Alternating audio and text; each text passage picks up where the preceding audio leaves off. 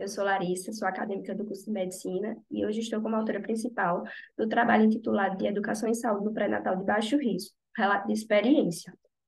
Então, inicialmente, é importante enfatizar que a consulta de pré-natal é essencial para prevenir e identificar precocemente patologias maternas e fetais, assegurando o adequado desenvolvimento da gestação, bem como reduzindo a mortalidade materna e fetal. Nesse contexto, destaca-se a importância da atenção primária no cuidado da saúde da mulher, proporcionando um acompanhamento longitudinal e continuado durante o ciclo gravídico puerperal. Diante disso, a equipe de saúde da família é responsável pelo desenvolvimento de ações educativas em saúde que possibilitem a troca de experiência e conhecimentos entre gestantes e profissionais de saúde, garantindo assistência integral centrada na pessoa. Com base nisso, o objetivo deste trabalho é relatar a experiência de discentes do curso de medicina na realização de ação educativa, ações educativas no pré-natal de baixo risco.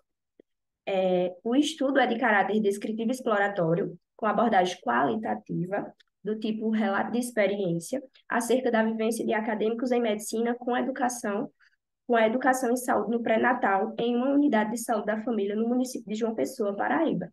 A coleta de dados ocorreu por meio do método de observação participante durante os meses de janeiro a março de 2023.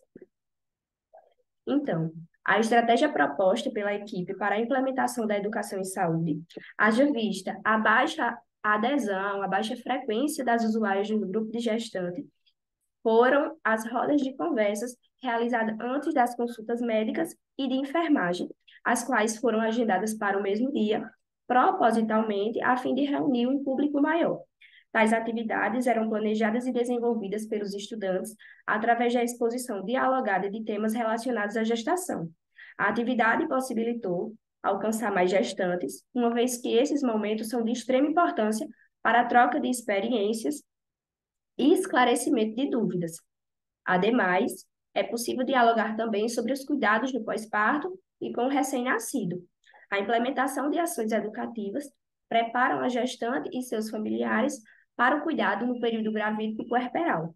Assim, é possível a construção de conhecimentos coletivos, rompendo com a relação vertical entre profissional de saúde e paciente, e horizontalizando o cuidado da saúde das gestantes. Com base nisso, conclui-se, portanto, que é fundamental a educação em saúde na atenção básica, visto que o desenvolvimento de ações educativas durante o pré-natal visa garantir uma assistência integral e humanizada à saúde materna e fetal, bem como aumenta o vínculo entre a equipe de saúde da família e a gestante, favorecendo a promoção da saúde, a efetividade do pré-natal e a construção de saberes em conjunto. Bom, estão aqui as nossas referências bibliográficas e obrigada pela atenção.